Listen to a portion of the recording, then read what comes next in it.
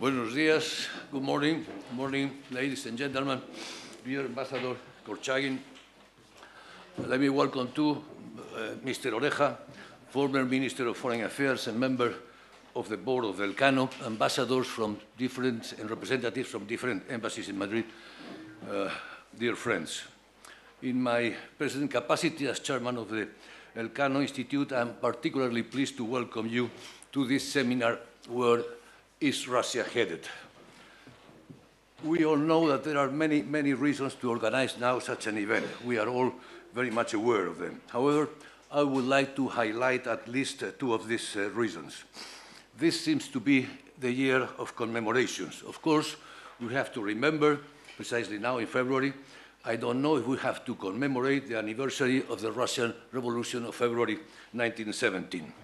Soon, soon we will remember too the signing in Rome of the treaty that gave birth to the European Union on March 25th, 25th 1957. But this year marks too the 40th anniversary of the re-establishment of diplomatic relations between the then Soviet Union and the Kingdom of Spain. Indeed, the 9th of February of 1977 Foreign Ministers Andrei Gromyko and Marcelino Oreja, who is with us today, restored diplomatic relations between our countries. Let me underline the fact that that took place before what we now call the political transition to democracy in Spain, indeed a year before the approval of the Spanish Democratic Constitution of 1978. And on the other side, before the fall of the Soviet Union in 1991. We thus can say that the pre-democratic Spain re-established relations with a pre-democratic Russia. I think this is a relevant consideration and should be highlighted. Since then, our diplomatic relations, bilateral relations, are good. I don't know if the ambassador agrees with me, but I'm sure he agrees. We may say that they are even excellent. President Boris Yeltsin visited Spain in 19, 1994, eh, first time a Russian premier visited Spain. King Juan Carlos has visited Russia on four times. Putin visited Spain in 2006 and Medvedev in 2009. Since then, we had several dual years, Russia, Spain. This is the dual year for tourists. No bilateral problems, no major problems at least, on the contrary, but some and quite relevant multilateral problems. Last January, I had the opportunity to speak about this topic in the Gaidar Forum in Moscow, at a panel about the relations between the European Union and Russia. And there I say that relations between Russia and the European Union are now at the lowest level since the end of the Cold War, marked by mutual deception and mistrust. Indeed, after the long winter of the Cold War, we had short spring, and we are now back to a sort of disguised, low-key Cold War, filled with mutual complaints. And let me mention some of them. For the European Union, Russia seems to be moving towards an illiberal democracy with an economy based only on oil and gas, almost a petro-state, do not respect the frontiers of neighbor countries nor their sovereignty to reach alliances, and seems to be deploying new technologies of modern warfare, mainly cyber war, to destabilize the European Union. These are, these are frequently listened to complaints. For Russia, on the other side, the European Union is a kind of Trojan horse for NATO, a NATO that widens its limits beyond needs and beyond agreements, has supported the color revolutions and even recognized a government based on a coup d'etat in Ukraine, and Russian-speaking minorities are not recognized basic human rights in some European countries. Just to mention some, some of the mutual complaints. Of course, all of that took place already before January 20th, I mean before President Trump, whose policy towards Russia and even whose policy towards non-proliferation is yet to be clarified, but that in any case has introduced a new and very foggy dimension in international relations. So let me add now a kind of a fifth uh, commemoration, because this year marks also the 40th anniversary of the publication by John Kenneth Galbraith, a book that deserves to be remembered, a book that was named The Age of Uncertainty. And we are certainly entering into an age of uncertainty. Even though viewed from today's perspective, the uncertainty of 1977 seems to be almost, almost inviolable. Russia, Russia, in any case, is the largest European neighbor and international power and has to be considered. The main goal of this seminar is precisely to discuss some aspects and consequences of this split for the West and for Russia, and the consequences of, of the so-called, between brackets, new, new Cold, Cold War. We at the Elcano strongly believe that an open, uh, honest dialogue between us is necessary, is possible, and may help us achieve greater stability in Europe and in the world. We hope this seminar could be a small contribution to this purpose. Now we'd like to give the floor to the Russian ambassador, Mr. Yuri Korchagin. Thank you. Thank you very much, Ambassador, for being with us this morning. The floor is yours. Dear Mr. Emilio Lamo de Espinosa, President of the Real Elcano Institute, Your Excellency, Minister Marcelino Oreja, dear uh, uh participants, uh, the case is I uh, will be speaking in Spanish. Uh, I was told that the conference will be held in oh, Spanish. That's why those who doesn't speak Spanish uh, had, uh, will have a good opportunity to learn this beautiful language. Muchas gracias eh, a todos y gracias por invitarme para inaugurar eh, este otro seminario sobre Quo Rusia, a dónde va. Sí, a, Rusia.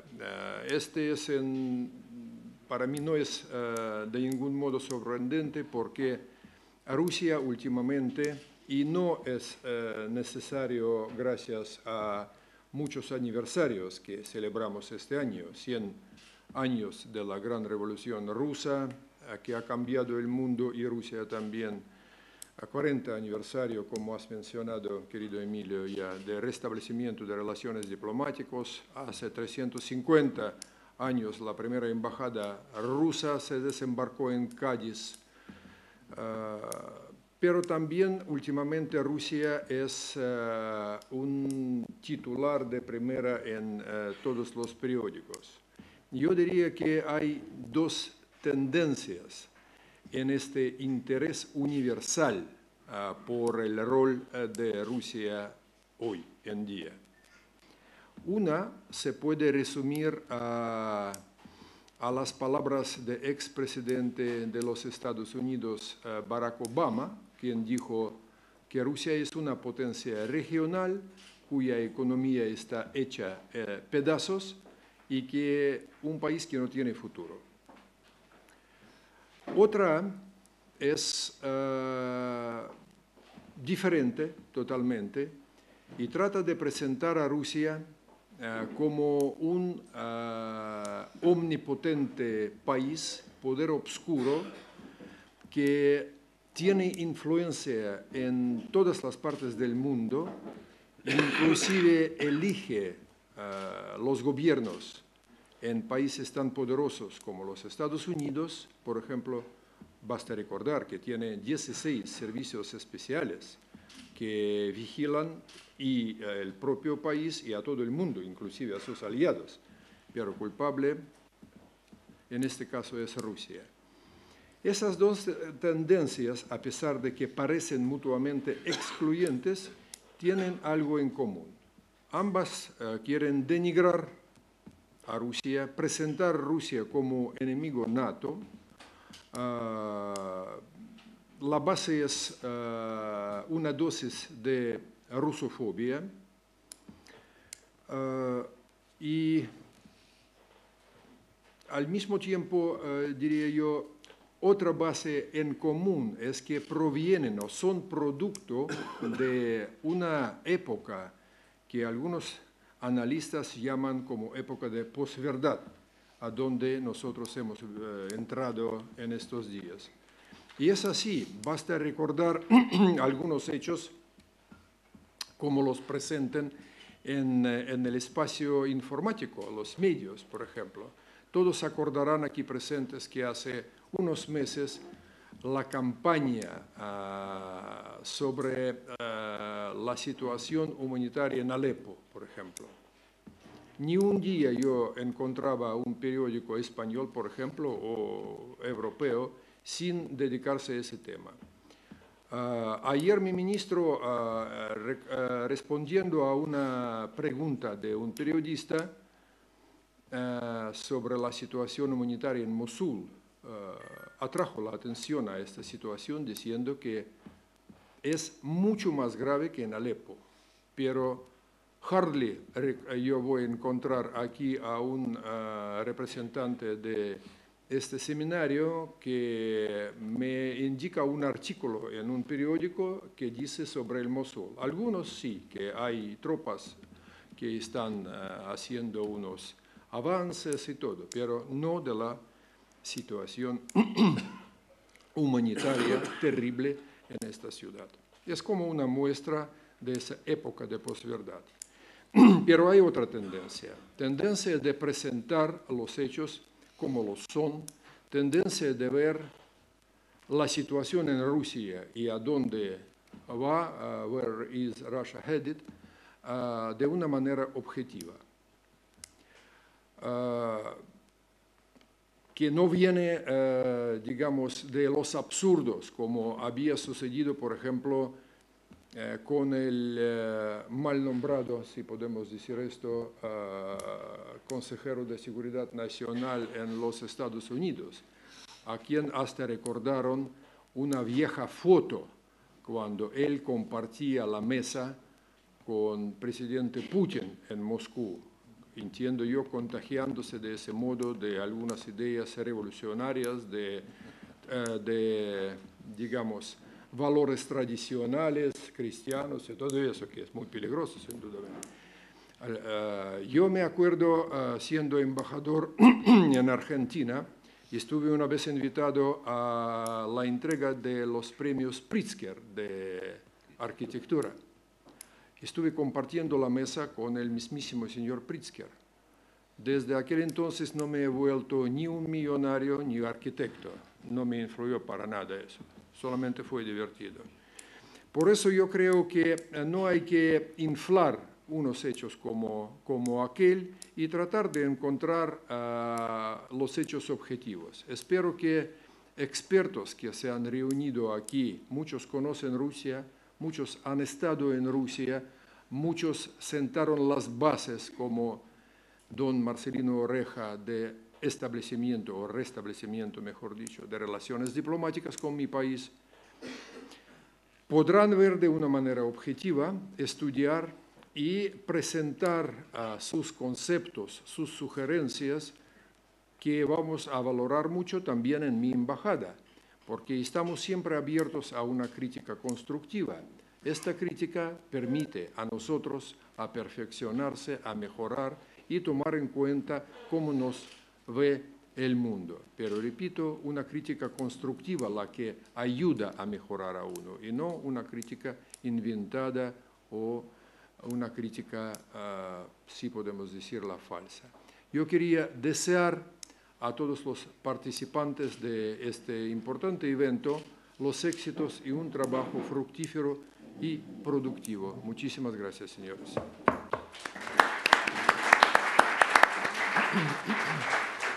Thank you. Thank you very much, Ambassador. And thank you also for being with us. Before moving to the first panel, moderated by Mira, and thank you, Mira, for organizing this, this, this event. She is responsible that- for, for us being, being here today. I would like to profit from the presence of Mr. Marcelino Oreja and ask him to tell us a little bit uh, briefly about how was the reestablishment of diplomatic relations between Spain and, and, uh, and uh, the Soviet Union then. eh? Eh, Un, un micrófono. Please come, come, come to the, come, come to the, Raúl, sube, sube a la, sube a la mesa, sí. Sube a la mesa, Marcelino, puedes sentar ahí.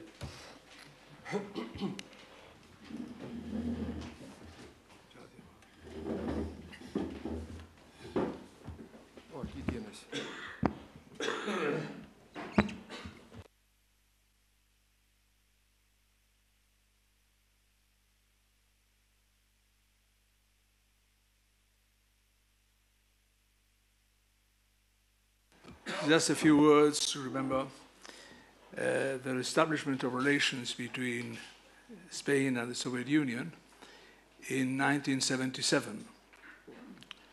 Uh, that was the beginning, but certainly before there were different relations, informal relations between our countries. The formal relations have, have started in 1933, late, and the Soviet ambassador only arrived to Spain in 1937. Uh, Spain sent an ambassador, Marcelino Pascua, also in 1937, and these relations ended in 1939. From 1939 to 1977, certainly there were relations, not diplomatic relations, but personal relations and commercial relations, very intensive commercial relations, but also personal relations. Already in the late 50s, uh, the Spanish ambassador in Paris had relations with the ambassador of Soviet Union. And a bit later, in 1961, Areilza, uh, José María Areilza, who had been ambassador in the United States and then ambassador in Paris, had formal relations, normal relations, personal relations with the Soviet Union. That was in 1961 to 63, 64, but uh, things went on. There were less relations in the future, and then we arrived to 1976. And in 1976, Areilza, who had been ambassador in Paris, was uh, new foreign minister. Being foreign minister in January uh, 67, 66, excuse me, 76. In 1976, he uh, told me, I'm visiting the OECD. I didn't understand very well with all work we had in that moment to visit the OECD. And we went to the airport, I accompanied to the airport, and he said, listen, I don't care about OECD, but I'm having an important meeting with the ambassador of Soviet Union in Paris. I understood then the reason why he went to, to, to Paris. He had that meeting, he came back, and he couldn't go any further. But uh, I succeeded Areilza in July uh, 76, and uh, certainly one of the aims of the government was to start establish relations with many countries, with all the countries. As a matter of fact, we established countries with 19 countries except Israel. Israel, for other reasons, was very difficult, but uh, the decision of the government was to establish relations, and certainly one of the priorities was to establish relations with Soviet Union. And that went on, we had different talks, and finally, on the month of February uh, 76, 77 already, we, we, we had talks, and on the 9th of February, we had the ceremony of the establishment of relations. Uh, it was a very simple ceremony. Uh, Dubinin came here. He was, I think, responsible of the uh, European Department, and uh, Bogomolov was the representative of the economic problems in Spain. The ceremony was very simple. Uh, the signature was here and in, in Moscow at the same time. And that evening, I had a, a telephone call from uh, Gromyko, and we had an interesting uh, talk uh, for several minutes, and he invited me to visit Moscow.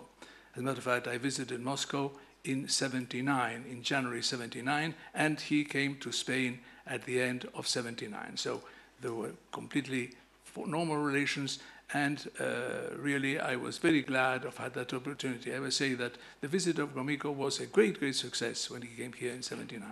I remember I had a visit with him to, to Toledo that gave me the opportunity in the car to have an hour and a half going and an hour and a half coming back. At the beginning, we had an interpreter in the car, but coming back, he said it's better not to have an interpreter, and we spoke in English. And it was really extremely interesting for me to listen to somebody who had had that, uh, I mean, uh, brilliant uh, career, and that who was very uh, able and very capable, and gave me many ideas.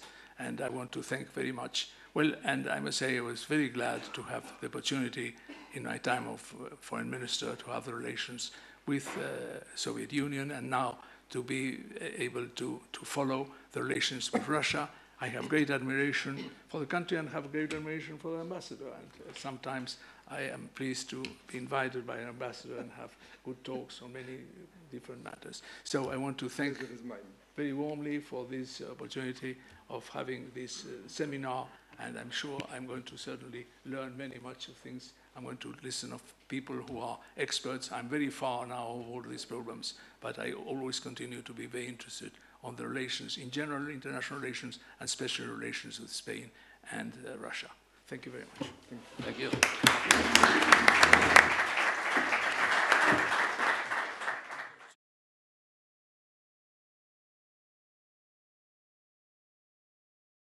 Good morning for everybody. As ambassador, as our chairman highlighted, and we can say that relations between the West and the European, the European Union and the United States and Russia are broken, and that each side has a vastly different assessment of, of what uh, went wrong. The Westerns point to the Kremlin, Kremlin's annexation of Crimea and the military and economic support of the rebels in Donbass, also uh, the military intervention in, in, Syria, the war of uh, disinformation, and so on. Uh, Russian government view things differently, and uh, Moscow sees itself as merely pushing back against the insistent geopolitical expansions of the United States, NATO, and uh, uh, European Union in the post-Soviet space. Uh, also, uh, the Kremlin pointed out that Washington and its allies have deployed troops right up to the Russian border, and uh, they claim that the United States has repeatedly intervened in uh, Russian uh, domestic, domestic politics. The gap, and so on, the gap uh, between these two narratives are, is, is very dangerous and the rise of tensions holds the risk of uh, military accident or uh, confrontation, uh, any, any kind of confrontation. Uh, uh, also, mm, I think that differences between the West and, uh, and Russia run deep, and they are not open to any easy solution. for that, I, I, I, think that is one of the motives why we would like to organize an event as, as a seminar about, uh, about Russia. And I'm very pleased to introduce uh, three outstanding experts to talk about uh, this, uh, this topic, to talk about this uh, first roundtable, first panel uh, today, which title, What is the Future of the Relationship between Europe and, and Russia? On my left, I would like to introduce uh, Vladislav Inozemtsev. Uh, Vladislav is director of the Moscow-based Center for Post-Industrial Studies and also fellow at the School of uh, Advanced, Advanced, Studies, uh, International Studies in John uh, Hopkins University. On the, my right is uh, Ivan Timofeev. He's director of a program of Russian International uh, Affairs Council, RIAC. Uh, he has PhD in political science. And uh, Uli Speck, some of you have already met Uli. Uli is our senior research fellow at the Elcano Royal uh, Institute in, uh, in, Brussels office. He also has uh, experience in another think tank in Spain, in FRIDE, but recently, in, in, last years, he uh, was a senior fellow at the Transatlantic Academy and G, uh, GMF in, uh, in Washington, and also uh, between September uh, of 2030 and August in, uh, 2015, um, Uli was a visiting scholar at Carnegie Europe Center in, in Brussels. I would like just to, to ask you uh, to, to present your vision. What do you think if we uh, that if, do, do you think that the relations between Russia and Europe are some kind of, of new Cold War? Or as, uh, as Dmitry Trenin and Ivan Timofeev also, uh, and, and, many analysts use a new, uh, a new concept, uh, the concept of the new normal between uh, United States and, and Russia. And always, I, I think the, the, the we have a handicap. We always used to ask, and then what we have to do. I, I will ask just uh, if you can say, what do you think? What would be the future of the relationship between uh, Russia and, and European Union, and uh, how we can um, contribute to, to improve it? And uh, Ivan will be uh, will start first. Then uh, you- you have like 15 minutes. All panelists will have 15, 20 minutes, and then uh, the, the floor uh, will be yours. Uh, we will have a question a question time. Ivan, please. And Thank you very much, uh, Mr. Chairman. Uh, well, first of all, uh, it's a great pleasure and privilege for me to speak here today. This is my first visit uh, to Spain. I'm really uh, astonished by your country, uh, and I'm very grateful to, for, for the, to the Elcano Institute, Royal Institute, for this opportunity to speak today. Um, Mr. Chairman uh, pointed out uh, the issue of a new Cold War uh, between Russia and the West, the collective West, as we call it. Uh, and indeed, there are lots of speculations about the new Cold War, and uh, we may admit that these speculations at some points are justified. Uh, we are going through a very hostile rhetoric on the political level. Uh, we uh, started mutual deterrence and containment, both Russia and NATO. Uh, and uh, on the level of uh, official doc doctrines, official documents, we perceive each other at least as strategic challenges, to say the least. However, the current Cold War, if we uh, agree that we are in the state of some sort of a Cold War, is completely different from what we had during the uh, period of the of the first Cold War, uh, of the um, confrontation between uh, USSR and United States and uh, NATO members. Uh, the first distinction, uh, and these, distinctions are critical to understand what's going on now. The first distinction is that today we have completely new structure of relations between Russia and the West. It is characterized by asymmetry, asymmetry of capabilities, asymmetry uh, of economies, while during the first Cold War, uh, we didn't have such an asymmetry. We had a parity in terms of military capabilities. Soviet Union was number two world economy. So uh, uh, we uh, enjoyed, uh, in a sense, the balance of power, uh, which made our relations much more predictable. Today, this asymmetric, asymmetric, asymmetric uh, structure is much less stable and determines higher uncertainty in our relations. Uh, the second distinction is the, uh, um, is the quality uh, and density of inclusive international institutions in the Euro-Atlantic uh, region. During the first Cold War, we had a developing and increasing significance of inclusive institutions. We had a gradual prog- uh, pro- progress of OSCE. Uh, we uh, managed to, to mm, create effective um, instruments of arms controls, to, to mention INF Treaty, to mention uh, the Treaty on Conventional Arms, and that was a breakthrough. So the, the overall tendency of the First Cold War uh, uh, was the um, uh, growing of stability of the relations, growing of the institutional institutions of relations. There were attempts to make them more predictable. What we see now, we see an opposite uh, picture. Uh, institutions are eroding. Uh, INF is uh, under the, the threat. Uh, conventional arms treaty was uh, buried prior Ukrainian crisis. It was not ratified by, by any country in the West. The Russian initiative on European security in 2010 was ignored.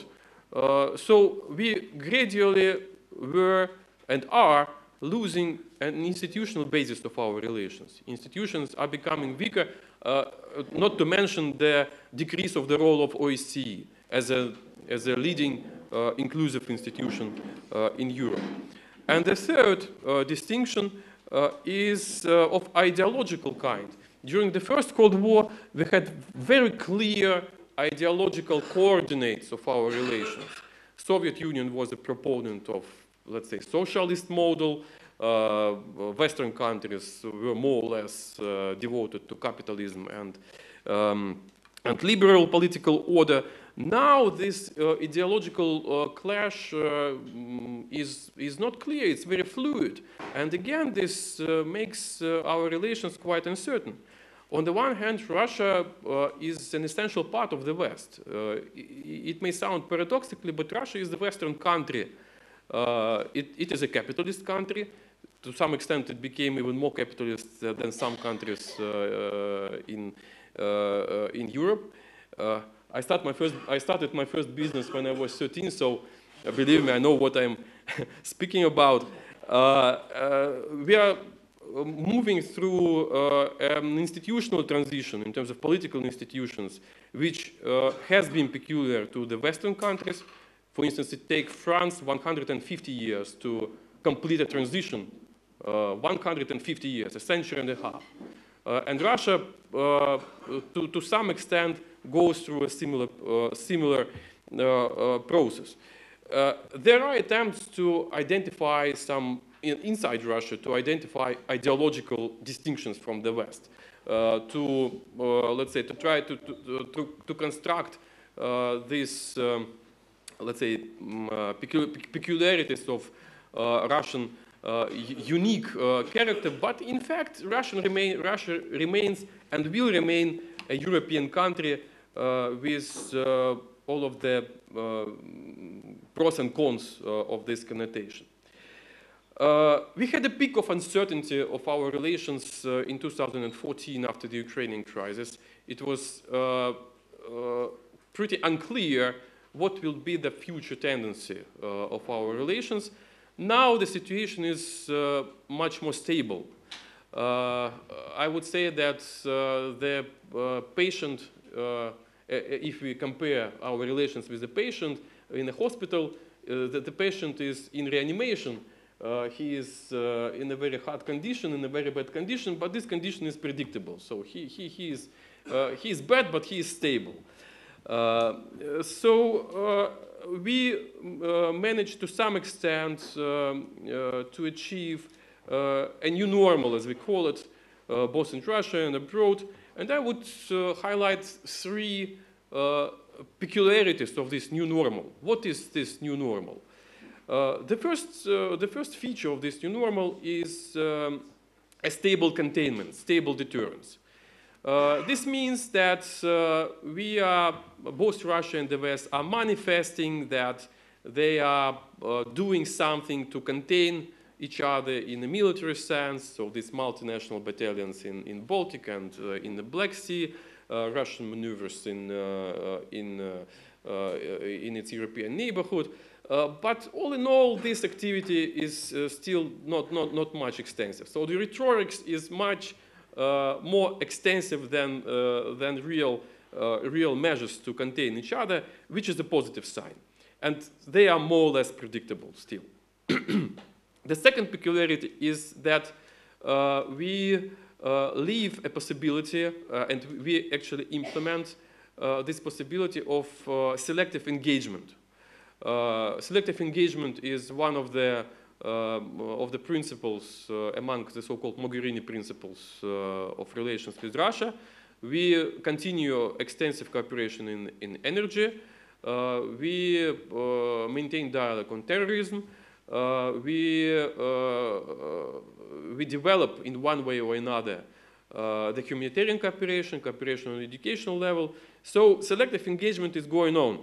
It is something which is of value and which still exists and is being developed. And the third peculiarity, which is quite interesting, in my view, it's about our strategies to each other. Uh, uh, it seems that both Russia and, and European Union and the United States uh, take, and, uh, and even Ukraine, uh, take a wait and see strategy. wait-and-see strategy. Uh, the assumption uh, uh, in the West seems to be the following: Russia is has a mm, capability. It is a country which should be taken into account, but still Russia is quite vulnerable in economic sense, which is true. Uh, in terms of uh, development problems, and sooner or later there will be more favorable uh, conditions which will allow, allow the West to uh, be more proactive uh, in terms of uh, in terms of political bargain with Russia. In Russia, the perception is is very symmetric. European Union and the Western community in general are viewed as as going through severe transition. Uh, to mention Brexit, uh, to mention uh, disagreements inside the European Union, to mention the, the growing um, ideological distance within NATO, for example, between Turkey and the rest of the, of the countries. So this is also, in a sense, wait and see strategy. So uh, the anticipation of some changes uh, in the West which will make Russian positions more, uh, uh, more, uh, uh, more favorable and stronger. Uh, a couple of words about Trump's factor. I cannot, uh, of course, ignore this. Uh, there are lots of uh, expectations about Mr. Trump presidency, uh, both in Europe and in Russia. Uh, lots of fears, uh, lots of uncertainty.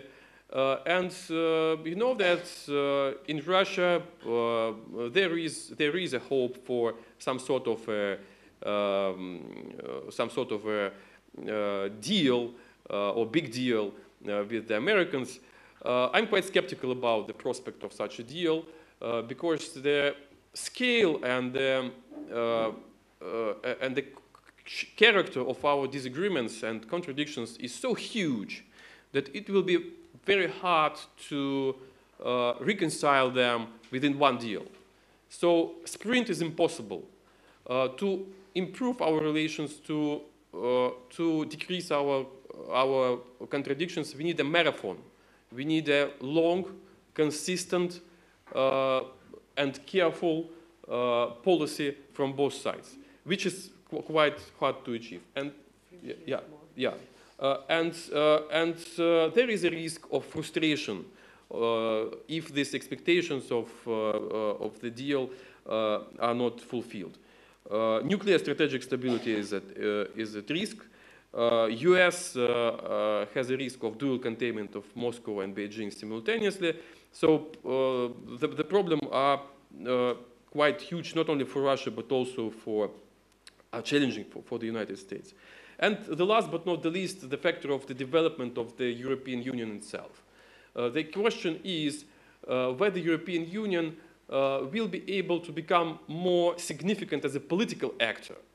I would refer to the new strategy of European Union, uh, global strategy of European Union, where it is uh, uh, implicitly pointed out that the, the strategic goal is to increase the political capability of, of the Union. Uh, in terms of autonomy of its uh, uh, defense industry, in terms of its more proactive role in crisis, etc. So this is, a, in a sense, a point of bifurcation. If European Union manages to become more significant player in terms of in, in political sense of this word, it will change the security structure of the Western commu- community. It will be not US plus other members of uh, NATO, but uh, US, EU plus, uh, plus others. And of course, the Russian factor. Uh, uh, the prospects of reforms, the prospects of uh, development, the, it, it, it, is, it seems that situation in Russia is stable and may remain unchanged, but this is, this is not true. Russia faces lots of challenges and reforms are needed, and the success of these reforms uh, will determine the positions of Russia uh, in the international arena. Thanks. Thank you very much. Thank you very much, Ivan. And please, Slava, what, what do you think? Where, where is Russia headed? what is our future? Okay. Uh, thank you all for coming here, and especially I would I'm very grateful to the Elcano Institute to give me this opportunity to speak for the second time uh, to this respected audience. Uh, the topic uh, of today's seminar is very complex, I would say. Uh, and uh, while hearing to Mr. De Espinosa and to Mr. Timofeev, I would say that I agree with many things which were already announced. I some, in some cases, I a little bit disagree. Uh, so I will try to answer the questions uh, our speaker, uh, our moderator, has posed. Uh, and I will begin with this idea of the Cold War. Uh, as Mr. De Espinosa said this morning, uh, after a small and short spring, we are back to some cold winter. As Mr. Timofeev said, he repeatedly said about the Cold War I and Cold War II. I will agree with both of the speakers saying that we are back to the some kind of the Cold War. Uh, first time I wrote about this quite uh, forcefully in uh, early 2014 and have repeated this argument many times since then. So, uh, of course, we cannot compare completely uh, the current situation and the Cold War of the 60s and the 70s. There is no uh, situations like you know Caribbean crisis or something like this. But nevertheless, I would say that the world has changed a lot, and we should uh, um, we should approach uh, all this uh, terminological question with some kind of you know creative uh, approach. Why I'm uh, talking about uh, the new Cold War which is underway? Because there are a lot of a lot of elements of the old Cold War present. For example, the Russian leadership is now well, the Western leadership as well. Uh, I would not say that Russia is responsible for this. Uh, there is a, you know, a mutual responsibility, both from the European side and from the Russian side, from the West and from the East. Uh, but nevertheless, I would say that uh, today it's clearly seen that the Russian leadership is uh, rethinking the world in the light of the doctrine of dividing lines, of zones of influence, uh, many politicians in Russia really believe that uh, in new Yalta system that uh, this is our sphere of influence, this is your sphere of influence, this is a big uh, you know dividing line between NATO zone and Russian zone and so on.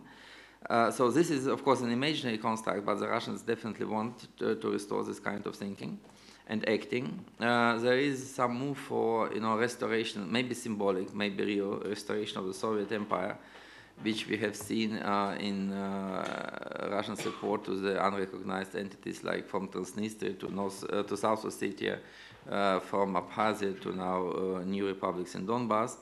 And actually, this, uh, this politics is going on and it's progressing. and there is a fertile soil for this process to go on in the post-Soviet space because the dissolution of the Soviet Union is far from over not only not not so much uh, according, uh, you know applying to Russia, but to many other post-Soviet space. There are a lot of problems there.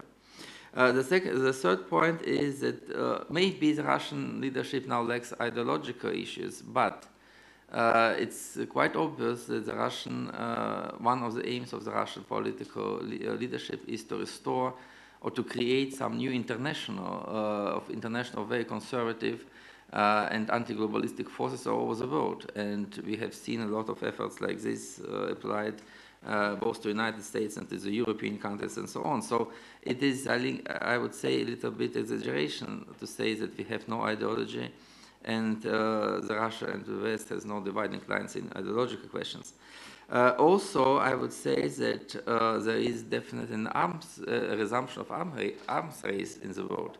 And uh, if uh, one speaks about Russia, it's not about Crimea or Donbass. It was in 2011 when then President Medvedev, who was a very liberal president, announced a huge program of uh, rearmament of the Russian military forces, which uh, was valued at 20 trillion rubles at the time, which was more than 600 billion dollars uh, in, in, at, at, the prices of the time, if to use the official exchange rates. Uh, and then uh, it was, of course, a response from the NATO side, and it was another response from the Russian side.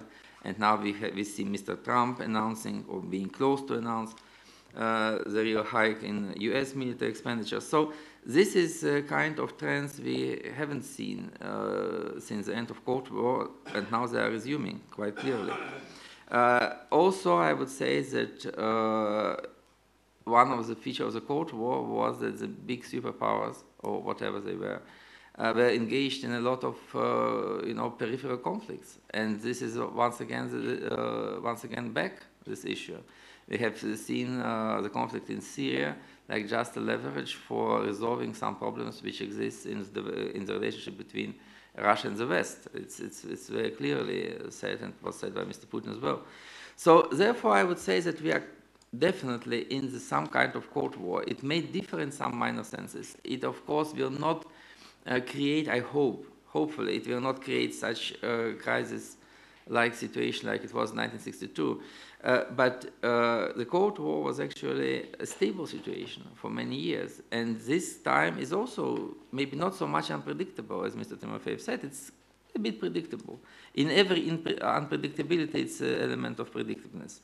So therefore, I would say the first answer is yes, we are in the Cold War and we should uh, reflect on this and we should try to find out what to do next and what to do now and what to do tomorrow. Uh, actually, the answer is quite uh, quite simple, and uh, once again, I will quote Ivan that uh, rightly says that we will we should wait and see, because uh, the today the situation both in Europe or in the West in general or and in Russia is quite different from what it was, for example, in the 70s. In the 70s, it was no so much globalized economy. It was no new centers of power emerging, except of United States and Soviet Union. Uh, the world was really much more understandable and predictable than now. I agree completely. Uh, and so uh, the Soviet Union was much more powerful, much more economically stronger than Russia today. Uh, there were not so much uh, personal interconnectedness between uh, Soviet, then Soviet, now Russian people and the West. Uh, so we now have a much uh, more broader range of opportunities. And at the same time, uh, Russia is uh, definitely economically weaker than it was uh, 30, 40 years ago compared to the West and also to the East, if, you if you speak about Southeastern Asia. So in this case, West really does not risk much if it waits for maybe 5, 10, 15, 20, even 20 years. Because uh, Russia, in, uh, if you look on economic conditions, if you look on you know, modernization of industries, of uh, scope of the technical progress, Russia is definitely a declining country. Uh, and uh, it is declining by the share of global output, is declining by its share in technological uh, advanced products and so on. So therefore, it's, uh, of course, now what Mr. Putin and the Russian leadership succeeded to do, they succeeded to just because of their political boldness, uh, they succeeded to uh, give Russia much more voice in the world that it really deserves uh, if, if it goes about its economic possibilities. And therefore, sometime, maybe, I would not say tomorrow, maybe the day after tomorrow or even after after tomorrow, it will once again deflate. Uh, and so therefore, my point is that uh, Russia now engages in some new trends which can actually be not sustained for long. This big arms race, if United States will be really serious with going with a new nuclear arms race, Russia will, cannot sustain this for many years. Uh, the economic pro, uh, you know, programs in, in Russia now are dealing with going to explore Far East, Russian Arctic zone, uh, to go to the you know very northeastern territories. It's a new Cold War. It's a war with the cold, with the climate, uh, and it will be lost as it was lost in the 80s. So uh, you know the, the, country likes to live in a, a culture of um, uh, of awareness and the culture of uh, extraordinary situation and it, it, can't, be, it can't last long, I, I, would tell you once again. So uh, where is Russia heading, if I would say, uh, if I would answer this question, I would say that Russia is going one again, once again, a big circle in, in its development, as it went many, many times, many, for, for many years and decades and centuries. So it, it works like a big pendulum, going from right to left, from left to right, from more westernization to more isolation, isolationism. And now we have an isolationist mo moment and more confrontational moment, but it will pass by. Uh, as it was uh, once again in perestroika years, or it was just many years before in, in early 20th century. So my, my point is that uh, today, the West can be can feel itself quite secure, uh, actually doing nothing uh, vis-à-vis Russia. Just repeats the strategy during the Cold War. Economic cooperation is fine. Russia is a reliable partner in energy issues. I actually will never uh, say that Russia wants to wage an energy war with the West. It's again its own interest. It will, it will never do so. Uh, it, it, uh, there were some, you know, kind of problems uh, in supplying uh, Central Europe with energy in 2006, but it was due to the conflict between Russia and Ukraine at the time. Not, not because Russia wanted to, you know, to cut energy supply to Europe. It never will uh, try to do so, I believe. So uh, in other economic issues, there are a lot of uh, possibilities for cooperation. Russia needs uh, Western technologies. The West needs nice opportunities to invest, and Russia is uh, maybe high risky, but very investor-friendly countries and so on. So therefore, my point is that just should we a little bit go back and uh, lower our intensity of our, you know, uh, not discussion, but, you know, mutual insults and so on, uh, which are qu quite easy to see every day uh, these days. And just to calm down, uh, to understand that in 10 or 15 years, Russia will not be a typical European country. Uh, it, it's, it is quite different in many senses, but it doesn't mean that we should, you know, go to another huge military confrontation. It's a low-intensity Cold War number two, uh, and it will last until the country changes from itself, from inside. Look, uh, because, uh, you know, I, I, would disagree with the people who say that, for example, the Reagan arms race in the 80s destroyed the Soviet Union. No, the Soviet Union was exhausted. And uh, Gorbachev uh, changed the country, not, not, not Reagan and Bush Sr. So in the same, in the same sense, sometime Russia will realize that it cannot uh, live without new modernization, new openness, uh, new friendship, friendly relationship with the West. Maybe it will come only when the, current leader goes. Uh, because, for example, we have heard about the restoration of the diplomatic relations between Spain and the Soviet Union in 1977, but there was nothing said why they were restored in 1977, because Franco died two years before. So it's the same kind, the same situation in Russia. When the leadership changes, the country changes. Leadership is now not inclined to change, so therefore we shouldn't speak about any kind of, you know, re uh, repair in relationship till at least 2024. Uh, so uh, two, uh, so three very small remarks uh, on what I, I have said. Uh, yes, I, I, said about 17, 1977. So once again, I repeat that what where Russia is heading, it's going like you know in another circle in its development. And, uh, but only one point I would say that was crucial for me, uh, it was mentioned here about Russia as a capitalist country. Mm, look, uh, don't uh, be quite serious when you speak about uh, such uh, ideas like capitalism or Europeanness applied to Russia or to any other countries. Russia is not so much capitalist. It's a, it, it is becoming a classical corporate state. Just read the Mussolini speeches of 1930 about the corporate Italy and apply it to Russian state corporations, there will be 99% similarity. Russia is, of course, it's a European country, it's a Western country, but the same Italy in the 30s and the same Spain in the 60s was 100% European. So it doesn't explain anything. Europe is very different. It was different, and it is different, and it will be different. Uh, so, uh, and uh, maybe we should reformulate a lot of our questions we raise today about Russia and Europe. Russia is Europe. Because, for example, going sometimes to Ukraine, I'm hearing there that Ukrainian analysts uh, used to say that Russia is now a new Asia, it's new Tartaria, Mongolia, Orda, or something. It's terrible to hear because Russia is and was for many years Europe, but it is a Europe of 19th and early 20th century. What the Russian uh, leadership is now doing, it's not Asianization of Russia. It's just bringing it back to the former kind and former types of Europeanness. And you should be prepared to act uh, with Russia as a European country of former decades. It may be not very easy, but it, I think it's, uh, uh, it's, a, it's, a, true thing what we are witnessing today. So it's, a, you know, once again, pendulum in time and in attitudes uh, in many cases.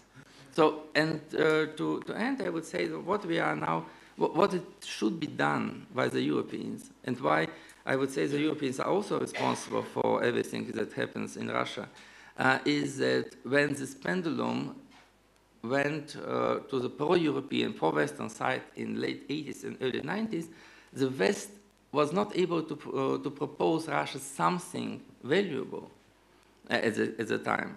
The, uh, Russia was not integrated in any kind of Euro-Atlantic community, not in NATO, not in European Union, which was then just at the stage of being born in 1992.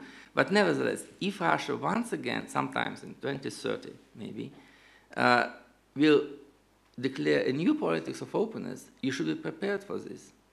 Because you, don't, uh, you shouldn't think that Russia will be you know, automatically a normal country, like many uh, of, of, Americans uh, believed in the 90s. No, Germany, very European country, very normal, was considered to be very normal at times of Weimar Republic in 1923. But then suddenly it became not very normal, as everybody knows. But after the Second World War, the Europeans were clever enough to integrate Germany into NATO, European Union, all the structures, and now it's quite normal. So in this case, I would say, so be prepared to propose Russia something which normalizes the Western-Russian relationship in far distant future, uh, and you will actually be very well rewarded for this. Because as Germany is now the engine for European growth and stability, the Russia may be a perfect European country if decently integrated into Europe. Thank you. Thank you very much, Vladislav. And now Uli, Uli has a privilege to be German and to have this the point of view from Germany, but also with many experience, with many trips to Ukraine, to Russia, and to be expert in this in this topic. Please, Uli. Thank you very much. It's uh, first for the invitation, and uh, it would be very tempting to engage with the previous speakers because there are plenty of great ideas and and and. Um, but I will stick to my script and talk a little bit more about EU-Russia relations. Uh, I think it's difficult about to talk about EU-Russia relations without uh, uh, ignoring America. This is a triangle. Um, and uh, now we have some kind of unpredictability, not just from the East, but also from the West. We don't know what Trump's next tweet will be um, and his next phone call. So everything, it's, it's, it's wide open. Um, the EU or Europe and, and the US had a, I think, successful policy um, helping Ukraine, stopping Russia, in uh, dismantling uh, Ukraine, um, uh, the Minsk agreements, diplomacy, um, the sanctions. So there's a policy, and this has been very much endorsed by Obama. Um, the US has put its weight behind um, linking the Minsk agreements with the economic sanctions, which is crucial. So uh, we have a policy, a European, a transatlantic policy in place. Um, we can, of course, argue whether whether it, it's uh, fully successful or not. I would argue that it has helped uh, stop this dismantling of Ukraine, and it has uh, given the country some breathing space. Um, so anyway, and it is also important because it's a policy. We have a European policy towards Russia, a response. Um, so, but this can be dismantled from one moment to the next from the US side. Europe cannot have, the EU cannot have uh, uh, its own policies towards Russia because there is the nuclear issue. I mean, let's uh, let's let's call it. Uh, it's it's about, and I think this reminds me of the Cold War, because the nuclear issue is back, and without the American nuclear umbrella, Europe is very. It's a wide open space for uh, for blackmail from Russia. We see already for example, Hungary trying to accommodate Russia, arguing that this is a new world, a multipolar world. Um, so, but this, and we saw also NATO was very important in the reassurance and deterrence uh, measures. Poland is very nervous. I go often to Warsaw. The discourse there is quite different from uh, here in, in Western European countries. So we are in this together. Uh, Americans and, and Europeans, and we, we are at the mercy to a certain extent from decisions that are being made in, in, in, Washington. Again, this reminds me of the Cold War. Europe can has, have its own policies towards Egypt, uh, Syria, uh, to a certain extent on China, or to a great extent on China, but on Russia, because it's about the nuclear intimidation. We heard a lot of this in the last years coming from Russia. America is the indispensable partner. Second remark, um, and I think it's um, what is behind the, the, the, conflict, what is, what is really um, behind these tensions between Europe and Russia. Uh, I think it's a clash of worldviews. It's a clash of principles. It's a clash of, of uh, leading ideas. Um, and I call this a clash between the multilateral worldview and the multipolar worldview. What do I mean by that? I think the Russians um, have a multipolar worldview uh, disregard for international rules, international institutions.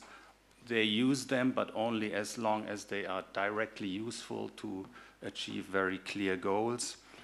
Um, but they don't believe in this global um, um, network of governance, institutional um, stuff going, going on. So this is one uh, disregard for uh, international rules and institutions, emphasis on military power as opposed to economic power and soft power. Uh, a Hobbesian worldview, uh, um, or even Darwinist worldview. Uh, it's not, uh, international relations are basically about um, survival of the fittest. It's a struggle. The stronger dominates the weaker. Um, and interaction between states is basically a zero-sum game. Only one can win. The other will lose the other side. Um, so, and this, I think, leads Russians to believe in a, the way I understand them is that the Kremlin view is that they think we are moving towards a multipolar world order where the US and China are calling the shots and they want to be in that game as well. So when they heard from Obama that Russia is a, is a provincial power, uh, it, it, may have uh, even even increased their their uh, determination to push themselves into a pole in this new multipolar world. Uh, Ukraine, Syria, um, a, lot of international activities which, which exceed the means and, and the economic uh, um, basis they, they, they rely on.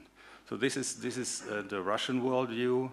Um, and then there's the European worldview, which is multilateral. Strong international rules and institutions. The EU is an example for that. Global governments, regional, international governance, um, emphasis on economic and soft power, tr trying to push military power um, out of the game believe in the equality of states. Um, small states in the EU can block big states. Um, in international relations as a win-win game. I mean, it, it took uh, a lot of uh, diplomatic effort has uh, flown into the attempt of to convince Russians that um, Ukraine is seen not as a zero-sum game um, from from from Europe, but I think there's just uh, um, a conversation of the deep. Um, this, is, this is where both sides simply disagree. This is a conflict of worldview. And um, I think this is going to continue. So I think we need to, um, I mean, I call it cold peace, uh, cold peace rather than cold war. Um, but I think this conflict is not going away quickly. We have now a new situation in the US. The US has for long time supported the international order, the liberal international order, globalization, trade, long-term interest, investment in trade as part of a relationship, canceling TPP means that this economic uh, diplomacy is, is, is almost gone. We hear more about America first, nationalism. This looks more like Russia. Um, and so at the moment, I think it's unclear to what extent the Americans are still willing to invest in this kind of multilateral frameworks order and whether they are going to move more towards a multipolar world where you have uh, China, mainly China and the US having the most important relationship, but also Russia, which is pushing itself into this group thanks to its military power and, and, and nuclear um, capabilities. Um, for Europe, it, this is a very difficult moment because we, we, we rather do not take part in this game and, and are on the receiving end of it. So if, if Trump goes with the Russians, we don't know about the gra uh, grand bargain. It could still come. We don't know. I mean, it, it could be just in half a year, and then there might be a deal over the heads of the Europeans. Possible. So uh, I think this is a very open situation, and somehow in, in Moscow, probably there's uh, suspicion over the US, but maybe also some kind of sense that, um, well, they go down the same road as we do with nationalism, protectionism, and, and all these things. But uh, I think this is the, the, game has just started. Um, the Americans have, or the Trump administration has, uh, now yesterday he has endorsed NATO again. Um, so uh, they acknowledge that they need allies, they need to work with others. Um, so we, we are in the middle of this transformation and we, we don't know where this is going. I think also with regard to Russia, I, I fully agree with uh, Vladislav that um, I don't see any need to uh, overcome the tensions quickly by offering something uh, that we don't want to offer I think we, we have to learn to live with some tensions with Russia. This is just also uh, part of becoming more mature as, as Europeans. We cannot be everybody's friend. Of course, we would love to be Russia's friends, but if they, their view um, of how international politics work and, and what the EU is and, and, and how to deal with issues such as Ukraine or Syria, if we disagree, let's agree to disagree. Why not? Of course, we need to make sure that there are no accidents, but I think we saw also in the last years that uh, escalation is, is not such a big threat at the moment. I stop here. Thank you very much, Uli. Now we have uh, like a half hour for questions. Uh, please introduce yourself shortly and please um, put your question clear and, and short if is possible. The, the floor is yours. You have microphone in, in, on the tables.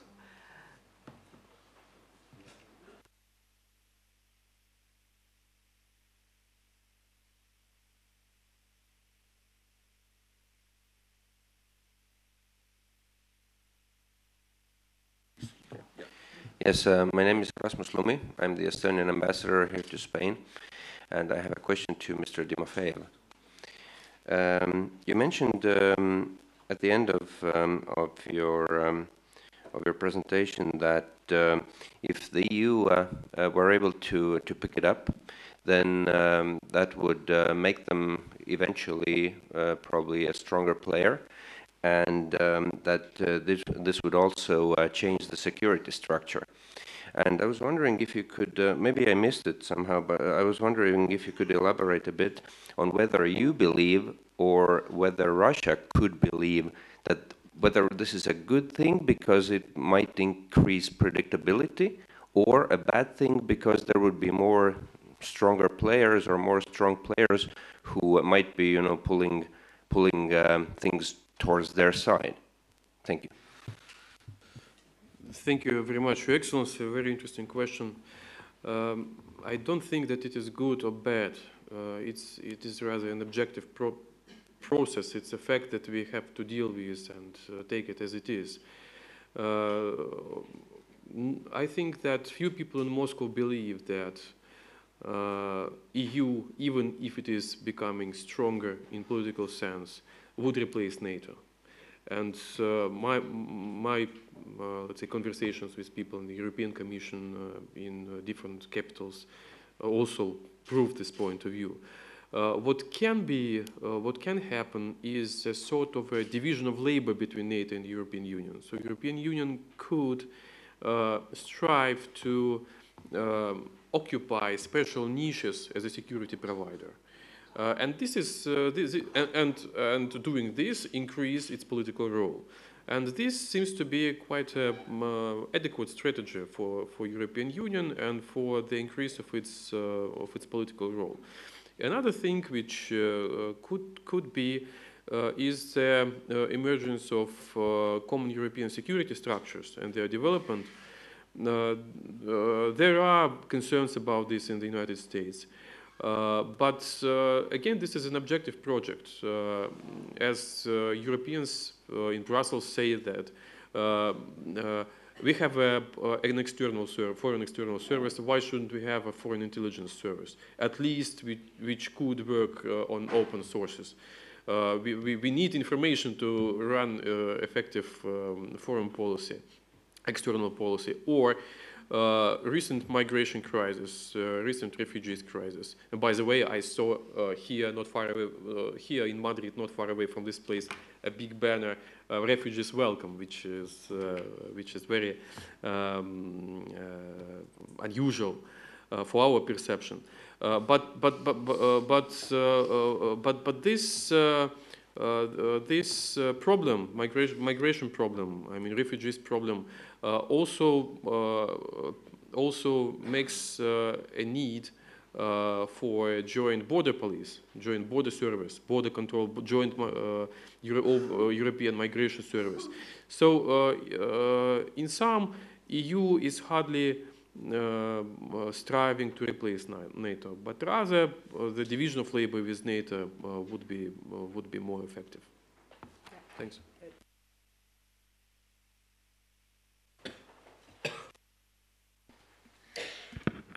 Thank you, Mira. My name is John Lough uh, from the Institute of Statecraft in London. Question or, and comment to uh, Vladislav.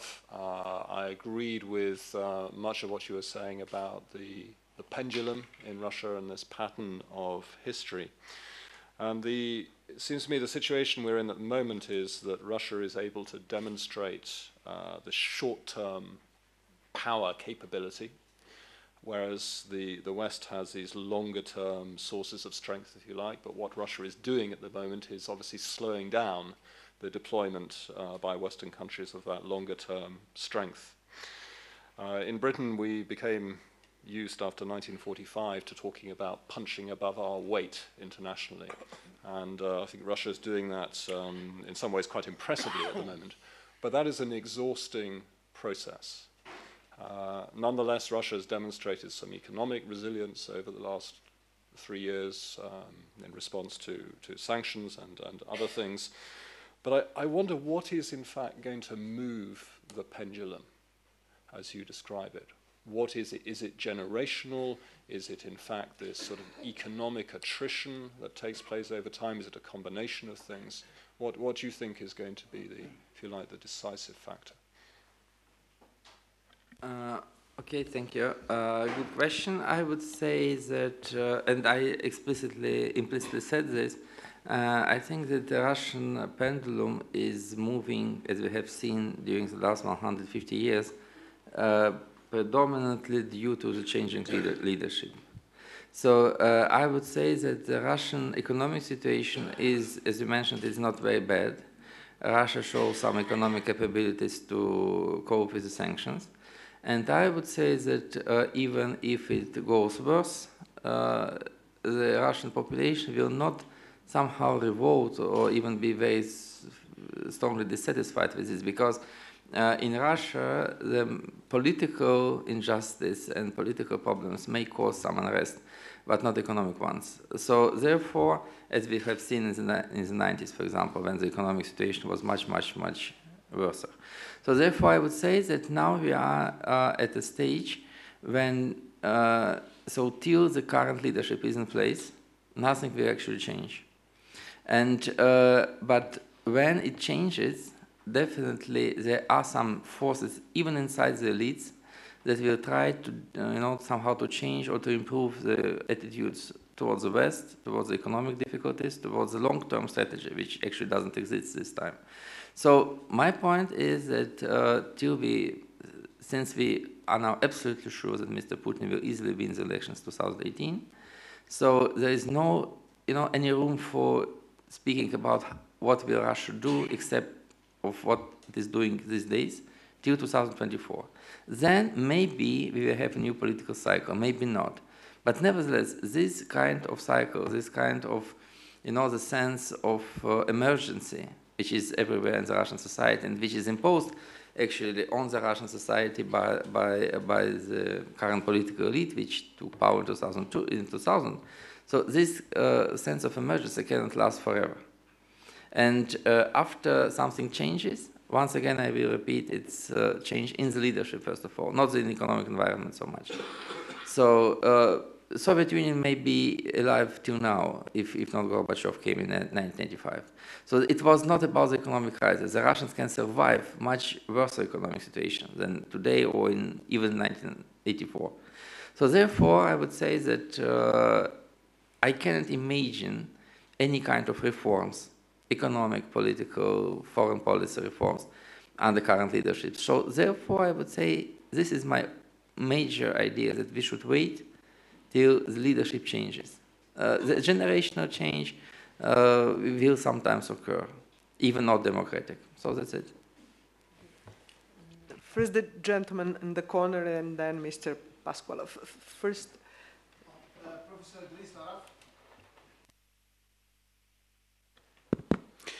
uh, Professor Idriss Arafi from the University of Morocco. Uh, first of all, I want to, to, thank the Elcano Royal Institute for this invitation, the first time I attend here.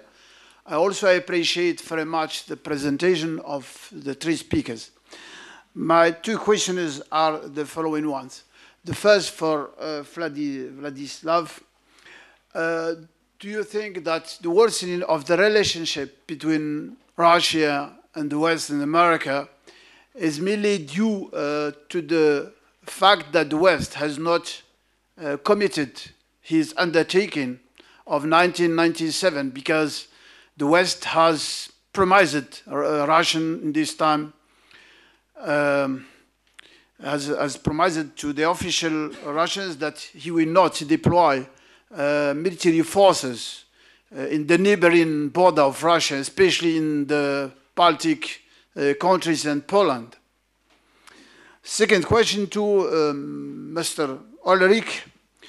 Uh, do you think now with with return of the uh, nuclear dimension, because we have experienced it in Ukrainian, you know, and now and uh, now it's I think it's not a secret, you know, and I take the opportunity for the attendance uh, if they speak French, they can uh, learn a book who has been published in France in January 19 in January uh, in, of this year.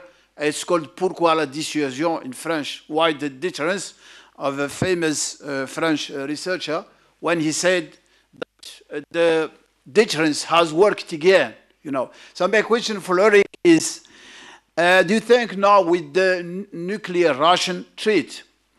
the uh, members of the U European Union, will they rely much on the uh, American umbrella or uh, at the opposite, they will come back again, they return to what the French called la dissuasion concertée, to the agreed or concerted deterrence, which was announced by the then Prime Minister uh, Alain Juppé. Thank you very much.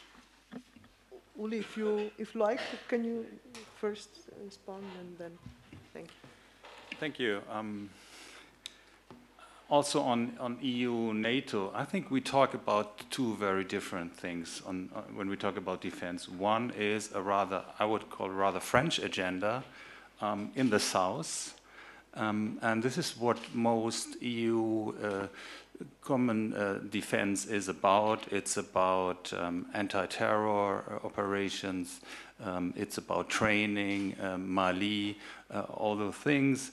And this is, this is where the EU is um, playing a bigger role uh, with all these missions, um, which are mostly training on, uh, on all this kind of softer stuff. Um, so this is one thing, and the other is deterrence, nuclear deterrence, which uh, this is not this is not something the EU can do. Um, there is there has been a debate also in, in, in Germany um, about uh, what is going to happen if uh, the Americans are removing this nuclear umbrella from Europe. Um, scary uh, idea. But um, with Trump, uh, his uh, comments on NATO, quite possible, at least in the early stages of his presidency. I think we are now, after the Munich Security Conference, after having Pence coming to Europe, and, and even Trump saying, I'm 100% behind NATO. I think this is slightly um, better now. But there is this question do we have a plan B? Uh, will the Americans always, in 30 years, defend the Europeans? And one question we can always ask is is there need to defend the Europeans? But at the moment, uh, we hear a lot of nuclear intimidation coming from Moscow. So the nuclear um, dimension is back. Um, the, the idea is that that has been voiced by a German lawmaker, for example, that maybe Germany could support the French nuclear deterrent, and and the French would somehow replace the American umbrella. I think this is not going to work because nuclear deterrence is about credibility. It's, it's about the question would Paris go to war over Tallinn, not just Warsaw, Tallinn? Uh, Estonia, would they risk a nuclear escalation with Russia over Estonia if there is what has been discussed, this hybrid um, um, incident, uh, Russians moving over the border or, or inciting unrest inside uh, one of the Baltic countries.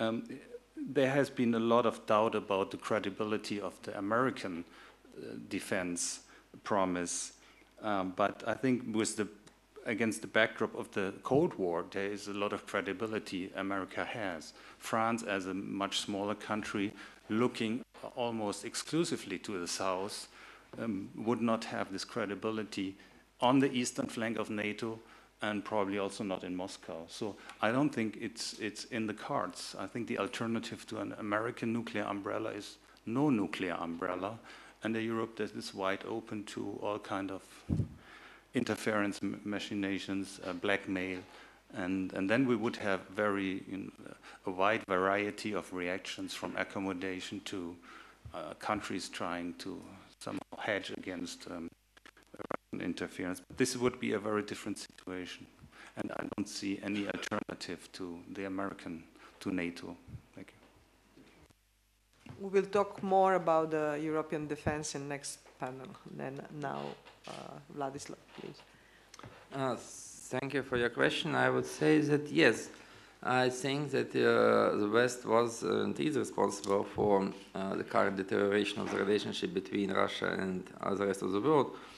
Uh, not only 1997, uh, it was a lot of promises given even to Gorbachev in 1990 and 1991 uh, which were not uh, not fulfilled. Uh, and if you remember, for example, Mr. Putin's appearance in Bundestag in 2001, it was a very pro-European, pro-Western address uh, to the German Parliament when Mr. Putin said, I, if I quote uh, correctly, that we are looking on the European integration experience not only with sympathy but with hope. And it was very, very, very good address actually, and nothing actually was made from the behalf of the European Union, because uh, if you look on the relationship between EU and Russia for many years, uh, it, uh, the Europeans never said, never, I would say, never said that Russia is a country which deserves to be a member of the Union, or maybe be a member of the Union in distant future. Uh, the Europeans said this even to Turkey in, in, six, in, the 60s. And Turkey was for 40 years like a candidate to the European Union. There were talks talks and negotiations opened. And uh, with Russia, never uh, something like this happened. And even the Turkey, after 40 years of negotiating, is now going, you know, in a very different direction. So therefore, uh, you were not able to wait from Russia uh, after 20 years of, you know, broken promises and doing nothing uh, for change in the European direction. It's my point of view. We are once again uh, equally responsible for this. Uh, in relationship with Russia, uh, in difference with any European countries, the European Union every time invented a new kind of agenda. For, for example, with Poland, with Czech Republic, with Croatia, you have very uh, similar paths. You have, you know, pre preliminary talk, a candidate association agreement, candidate status, and the full membership. With Russia, you have partnership and cooperation agreement, Eastern European neighborhood, and so on, but never even mentioning the possibility of membership because Russia is too big to be in. Why? You know, it's the same kind of strange approach as you have in the financial sphere, uh, saying that that or this bank is too big to fail, and then you are bailing them out, you know, with any uh, with any attention to economic ineffectiveness. So why Russia is too big uh, to be in? Russia is, uh, in economic sense, it's smaller than Germany. Uh, in in population sense, it's you know 60% or 50% bigger than Germany is. Why not? So why not to propose in distant future this kind of perspective and see how Russia reacts? Now, it's for me, it's, it's a u- usual kind of, uh, of, of, of doing of improving the relationship. It was never made. So therefore, I think yes, Russia, uh, Europe is responsible the same way as Russia is, at least. Okay, Mr. Pascual, if I remember well. Thank you very much. Francisco Pascual de la parte Spanish Foreign Ministry. Uh, I was uh, uh, living in Russia for 17 years in several periods. And uh, I coincided with John in one of the periods there in Moscow when he was the chief of the NATO Information Office, if I remember well. And uh, uh, my last visit was uh, some weeks ago. I must confess that the situation seen from Russia is very different as it is seen from here. I mean, um, when I was, uh, when we were in Russia in the 1990s, uh, what we noticed was a very deep feeling of humiliation uh, due to the way that the uh, uh, market economy was introduced in Russia, and due to the way, and due to the enormous so, uh, social suffering that it provoked in the Russian population. So the chaos, the lack of government, the corruption, the gangsterism, and all the consequences that this sudden introduction of market economy in Russia in the 1990s is, in my view, in the root of what is happening today, which is a consequence of what happened before. Because this feeling of resentment and humiliation against the West, because we introduced those values in such a way, discredited democracy as a concept in Russia. There was a period there where democracy was deeply discredited. Uh, democracy was in Russia synonymous as corruption in a certain circles of the society. Uh, and it, uh, there was there was a, a, when I was there there was a poll, um, an opinion poll organized by a famous Russian TV channel uh, over the most prominent Russian in history, the, the, the uh, most important historical figure in Russia, in, in the whole Russian history. And uh, the uh, people voted in favor of Stalin, which was elected as the most effective and popular patriotic social leader. Second, it was Alexander Nevsky. And, uh, but then uh, the organizers presented things in a way that Alexander Nevsky was elected as the first one, and Stolypin as the second one, and Stalin as the third one. But the real the, the, the, real opinion of the, of the people was very clear. So, the question is, since we missed an, an, a, wonderful opportunity in 1990 or 1991 to incorporate Russia, to invite her to a pan-European structure of security, uh, could we, in some way, redress and compensate this failure of, of that approach at that time with the organizing of an international conference now on European security, in which uh, not only the U Ukrainian crisis, but any uh, other economic, social, uh, political issues could be discussed. Uh, some kind of Helsinki 2 or Helsinki 3, but this time uh, under the pressure, the pressure of the uh, possibility of a miscalculation which could provoke a catastrophe in, in, in the continent. Or do, do, you don't think that we are still ripe for such a step? Thank you very much. Is it a question for all panelists? If, if, if you can, uh, very it, it is a question for Mr. Vladislav ah, Inozemtsev. Uh, I have read, okay. uh, I have read uh, nearly all his articles and publications okay. Uh, about uh, the present conflict Thank in Ukraine. Uh, thank you. I will be brief. Um, first of all, about the 90s and about the suffering of, of Russian people during the economic transition time. I would, yeah, I completely agree that the suffering was great, and uh, I never supported uh, these Gaidar measures, and I think it was not a very good idea to go in such a route uh, uh road uh, for the economic transition. But I would say that the Russian people, by the end of the 90s, uh, even after the crisis of 1998, were, were well aware that such a price should be paid for this kind of huge transformation. And uh, in the 2000s, it was quite, you know, quite good possibilities, quite good chances for reconciliation with the West. Uh, and it was not so much a sense of humiliation; it was deep inside, and it was the, uh, you know, the the choice for the Russian government to exploit this feeling. If uh, in the 2000s it would be you know strong uh, message from the Russian leadership that we should reconcile with the West, that we should be inside the West, then the European Union sent us a signal that you are welcome to join the European Union as a candidate, maybe for 30 years. You know, this kind of uh, humiliation will disappear in one, in, in one generation. But, uh, but the leadership of, the, of Russia uh, decided to exploit this kind, this sense of, of humiliation, and now uh, I would say that if you, you know, shut down the TV, all the TV stations in Russia for two years, Russian people will be very friendly to the West.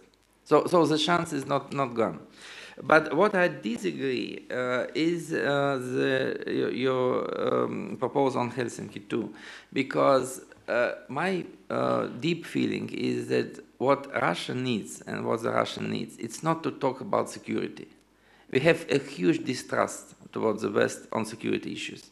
And I would, even I would say that this distrust is somehow funded. They have a ground for this. So from, from my point of view, it's not about new conferences. It's just, once again, I will repeat, it's just about the science from the European Union and from the West that you can imagine Russia as a part of your structures. So uh, this is a forceful signal, uh, signal for the Russians. To make another conference, look, there were dozens of conferences. No one even uh, you know, uh, can, can, can uh, remember how, how many there was. So you can sit down, you can talk, you can sign some papers, and three years uh, later, no one will remember this. So it's not about conference, it's about you know, building institutions, if you are ready for this. If not, the same path will continue as now. Thank you much. Uh, thank you very much, Vladislav. Carlota Garcia. Encina. Many thanks for all the, your presentations. One question is about China. Uh, there is this this idea that maybe try, uh, Trump is trying to improve the relationship with Russia because uh, Trump uh, wants the support of Russia in his uh, fight against China. Uh, what do you think about that? And, and how are the relationships between Russia and China today? Thank you. Question is for somebody who would like. Okay. Thank you very much for, uh, for this question. I will start with the relations between Russia and China. On the one hand, these relations are quite positive. Uh, we have, uh, uh let's say, very good relations on the political level, especially on the level of the leaders of the country. Uh, we managed to overcome the consequences of the Cold War between Russia and China, which uh, existed prior to the collapse of the Soviet Union. We have, uh, uh unlike uh, our relations with the West, we managed to demilitarize uh, our relations with China to a very high extent. the problem now is that there is um, a huge disproportion be be between political level and economic level of our relations. Uh, and uh, uh, the problem is, I, I, must confess, and I must be candid in this regard, the problem is on the Russian side, on the side of Russia, the structural limitations of Russian economy to uh, benefit from the Chinese growth and uh, to the overall Asia, uh, Asia Pacific growth. So we in Russia ourselves need to make a huge homework to uh, to let's say um, increase qualitatively uh, the um, economic relations with China and the rest of Asia. Uh, as for uh, U.S. Russia-China triangle, well, first we should not overestimate the possibility of Russia-China military alliance. Uh, there are speculations about this, but neither Russia nor China are ready to go further and create a, a formally abiding uh, uh, military uh, alliance. Uh, so it will not be a matter of fact in the midterm perspective for sure. Uh, at the same time, Russia uh, will not sacrifice her partnership and security partnership with China for the sake of vague perspectives of reconciliation of the United, with the United States. There are voices in the US uh, which call for, let's say, deeper dialogue with Russia in the light of growing China, but uh, the US missed an opportunity. So this uh, should have been done 10, 15 years ago, uh, not now. Now it's too late. So now uh, Russia is uh, almost lost for the United States as a counterbalance, as an ally with a future game with China. Uh, yeah, that's basically it. Uli, Yeah, I think it explained uh, perfectly, and it has been called Kissinger reverse. Um, um, I I think uh, the US, uh, the the White House has very much uh, uh, space now on on Russia with uh, Republicans in Congress, John McCain, others getting very nervous about ties with Russia. So I don't see what first what Russia could give to the U.S. and on the other hand, this is not this is not high on the agenda right now. I mean, big geopolitics. If you listen to Trump uh, yesterday or tonight's speech, it's all about uh, national security. It's all about economic nationalism, America first. There is almost no uh, visible uh, foreign policy agenda. Um, so I, wanted to also say some some words about uh, the EU. I mean, the, the EU, at least uh, uh, in the last 10, 15 years, uh, made a lot of offers to Russia for spaces and so on and so on. There was a permanent uh, dialogue, especially from uh, the foreign minister of my country, Frank-Walter Steinmeier, who worked before closely with Gerhard Schröder, and uh, there, there, was a, a stream of uh, you know, meetings, conferences, trying somehow to bring Russia uh, closer, and it has been, it has worked with regard to the WTO.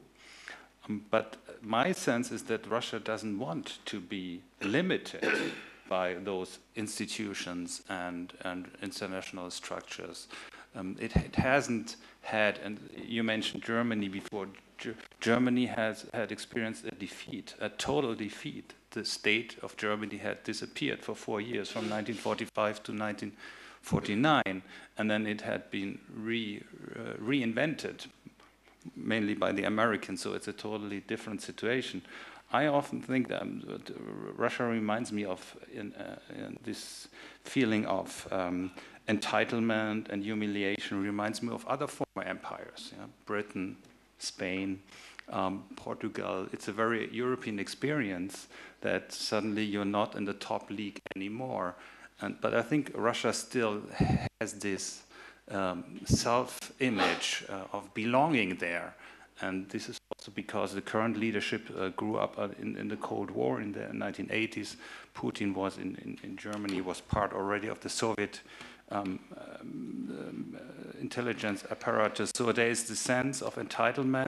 The economic means are not there. China is 10 times or 15 times bigger uh, with regard to the economy. And I, th I, think this also explains why there cannot be a real uh, Russian-Chinese uh, uh, partnership because China looks at Russia as a junior partner and Russia certainly doesn't want to be a junior partner of China uh, after Mao looked up to Stalin and, and all this history of the younger brother. So um, I think there are limits to this as well. Yeah, just one point. I agree with uh, quite everything which uh, my colleagues have said. Just about uh, two small remarks about China and uh, the United States. It seems to me, I may be mistaken, but it seems to me that the United States now possesses a strategy to deal with one huge adversary at a time. So, and uh, the first uh, place is, of course, China. And it's not about, uh, you know, trying to make Russia an ally in fighting China or in uh, withstanding China. It's just about uh, putting Russia aside for, for, for, for time being and deal with China for maybe the Trump's first, first four years in power, and then we will see. It's not about, you know, kind of alliance between US and Russia against China. It's just about putting Russia aside and dealing with China. And uh, small remarks on what Ulrich has said. Uh, look, I never spoke about uh, the situation in Russia in the 90s comparing it to the Germany in 1945. I compared it, it to Germany, which was considered normal uh, after the defeat in the First World War, where the German state was reconsidered, uh, but it was not dismantled. It was a, new republic, as it was a new republic in the Russian Federation after the Soviet Union. It was a transition from empire to a republic, and everybody knows uh, what was the end. So the humiliation sense in Russia is not about humiliation sense in 1945 in Germany. It's about 1919. Thank you. We, we almost have no time, but two last questions, and uh, please be, be short and very clear. First the lady, and then the gentleman. And, Thank you very much to the panel. My name is Georgina Higueras. I was correspondent in Moscow from uh, 1997 to 2001. And my question is for Mr. Inozemtsev. Um, you have been talking about the pendulums of the history of Russia, and I would like to know, I mean, if we look at that pendulum, we see that the, the change in the, in the leadership has always been with a middle, I mean, a kind of war, a collapse of the Soviet Union, uh, the war in, in Chechnya for Putin. Do you believe that the change of the leadership of Putin will be pacifist or we will have um, a big uh, problem also for that change of leadership? And second question, and then we will conclude with, uh, with the responses. Uh, please.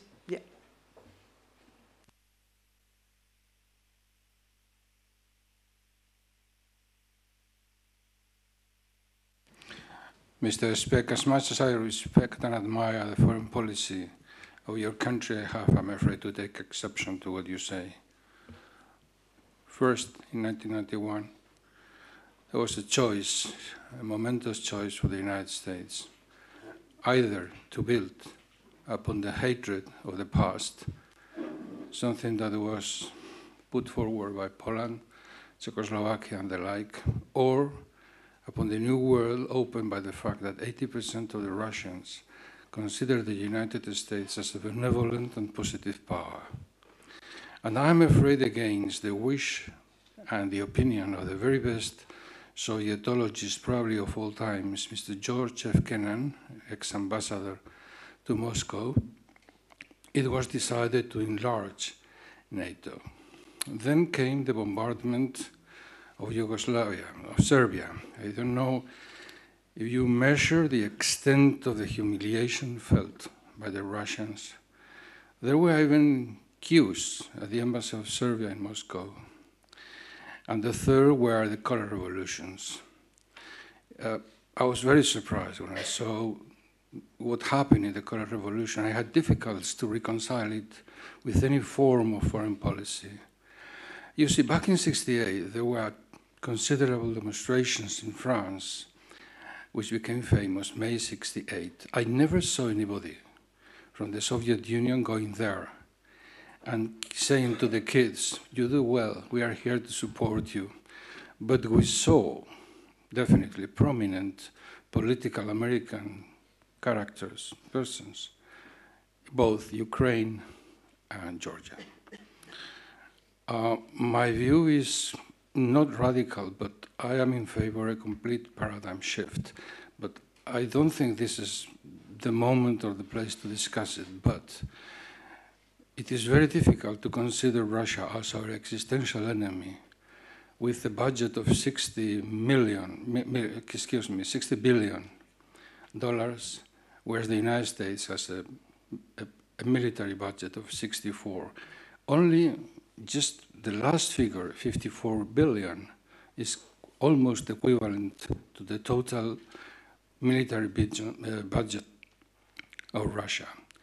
So I agree with Mr. Uh, Pascual, ex-ambassador to Kazakhstan and ex-consul general to St. Petersburg, that uh, we should go perhaps for a new for a new pan-European agreement. But I am afraid in this case the union between France and Germany should be exceedingly well final, and then next step, of course, we have to count on Washington perhaps Trump has now finally opened the way to such a solution, but it does not depend on us. Okay, thank you very much. First, uh, Vladislav, will, uh, this year is the 100th anniversary of the Russian Revolution also. And what do you think? We will have another revolution or? No, no not no. at all. Okay. No, look. Uh, I can be. Uh, I mm, listened with great, uh, very careful to your question about the wars and the transitional Russian power. I, um, no, from my point of view, I completely disagree with this thesis. It's not necessary to have some kind of, you know, war integration for power to to change. Uh, not only in Russia, in many many countries. Uh, I'm, once again, it's my personal opinion, I'm talking in personal capacity, but I think that Mr. Putin is president for life. And uh, after he, he goes, it may be some changes. So I think uh, Russia and Spain can very well cooperate in orchestrating something like a Pact Moncloa for Russia. But this pact, as, as your country, it may be concluded only after the leader leaves, as Franco died in 75, and we have all the democratic transition afterwards. So I think this is a pers perspective for Russia. It's not about wars, aggression, you know, some catastrophic issues. Uh, Russia is a very stable country, and it will it will last for many years. I don't know for, for how much, but but just for many. I, I'm not. I will not say that Russia will, uh, you know, uh, be aggressive towards the Baltic states or something like this. It just tries to find some new balance of power in post-Soviet space, and it will try further but without any kind of global, uh, global uh, destabilization. Uh, about the points of color revolutions, look, of course, there are the Soviet Union officials and the Communist Party members went not, were not dispatched to France in 1968. But look, they were dispatched for, to Vietnam and Nicaragua and other places. Georgia is not France. It's a peripheral post-Soviet country. And the Soviet Union intervened in many peripheral con uh, conflicts uh, during the Cold War I. So if the United States or Europe intervenes in the peripheral conflicts during the Cold War II, it's nothing strange. So, so I, I, will not say that the in, uh, involvement of US and European uh, politicians in Georgia were, you know, much uh, more intense than the involvement of Soviet diplomats and Soviet security services in, in the third world in the 70s. That's it. it it's a peripheral games. Uh, Uli, would you like to, just to conclude our panel? Just on two points, and um, talking about Russian humiliation, I, I mean, I understand that, but again, it, I mean, this is an experience many countries have, and sometimes it's also necessary because sometimes countries think they have, you know, uh, can play 1956 um, Suez crisis. Britain and France have been humiliated. Um, Germany has felt humiliated by the end of the First World War and then has developed this narrative of victimhood, which I think is always dangerous. Um, so I think there are a lot of humiliation, but sometimes it's humiliation can also be a reality check on your ambition, ambitions. And I also think that what we see in Russia is genuine ambition to, to, play, uh, to play a role. And it's not just Putin, it's not just the Kremlin, it's the conservative or uh, broader uh, uh circles who support this. Um, so, and, and they want to undermine the EU, which is dear to us. So uh, it's not just a reaction. I, I think it's wrong to explain everything that comes from Moscow as a reaction on our mistakes. Um, uh, if there would be um, a willingness to negotiate with us in good faith, well, yes, of course, there would be a readiness on the Western side to do something, but what we see is that they disregard Budapest memorandum, um, all kinds of uh, contracts, agreements, and, and, and, treaties. So I think there's, there's, not, there's no trust that Russia would honor any uh, agreements. That's, that's why I think there's no alternative to uh, what, what we have now.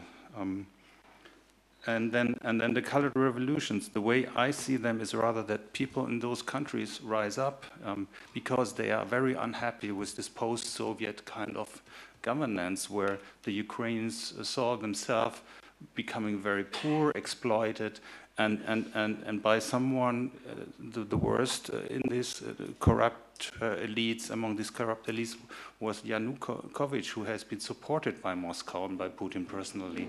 Um, in a way, it, wa it was a revolution that was driven by the, the needs, the local needs of people who felt that Russia is not delivering, is not giving them good governance, it's, it's not uh, cross um, um, somehow sending, at least like they do in Belarus, where, where Belarus has an economic um, profit from the relation with Russia.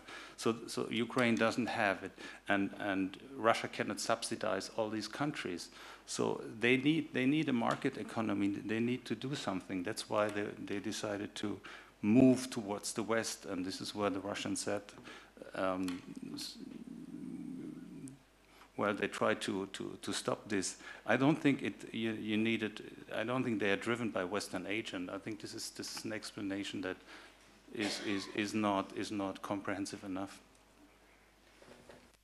Okay, thank you very much for, for your attendance. Thank you very much for our panelists. Now we will have a short coffee break and then we will continue with the next uh, panel about the European defense. Thank you very much.